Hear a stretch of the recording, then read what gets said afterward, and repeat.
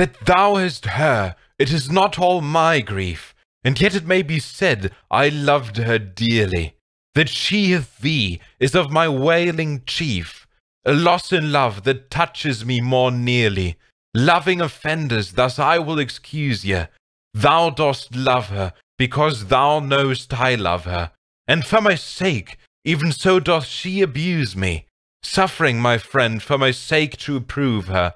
If I lose thee, my loss is my love's gain, and losing her, my friend hath found that loss. Both find each other, and I lose both twain, and both for my sake lay on me this cross. But here's the joy, my friend and I are one. Sweet flattery, then she loves but me alone.